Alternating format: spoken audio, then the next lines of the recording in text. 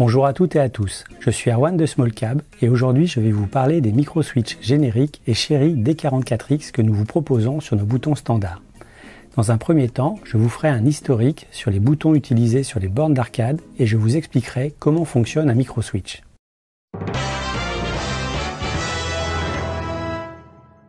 Au début des bornes d'arcade, vers la fin des années 70, par facilité et économie, les fabricants de bornes réutilisent les boutons à lamelles des flippers.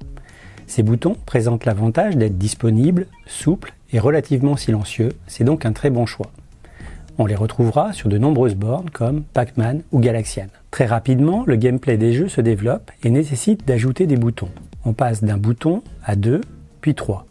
L'utilisation du bouton de flipper devient moins pertinente car il prend de la place et la lamelle utilisée pour le contact coûte relativement cher. Les fabricants de boutons trouvent rapidement une solution et proposent une nouvelle forme de bouton sur laquelle on peut installer des micro-switches industriels. Ces micro-switches industriels sont disponibles en grand nombre avec de nombreuses caractéristiques et surtout à un faible coût. Le rôle du micro-switch est très simple. Il permet de fermer de manière momentanée un circuit électrique pour signifier à la carte de jeu une action à réaliser.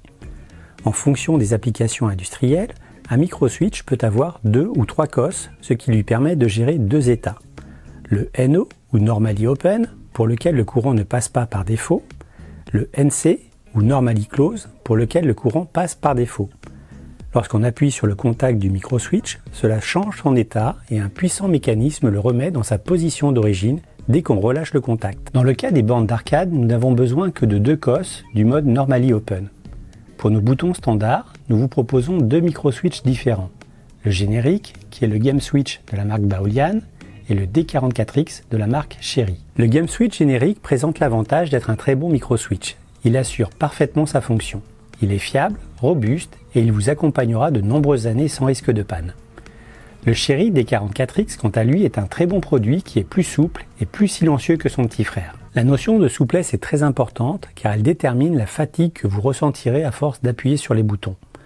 Plus un micro-switch est souple, et par extension le bouton, et plus vous pourrez jouer longtemps à des jeux de shoot ou de baston. Si vous avez aimé ce type de contenu et que vous souhaitez nous aider à améliorer notre référencement sur YouTube, n'hésitez pas à nous laisser un commentaire et à regarder nos autres vidéos. Et bien sûr, abonnez-vous à la chaîne Smallcab. A très bientôt les amis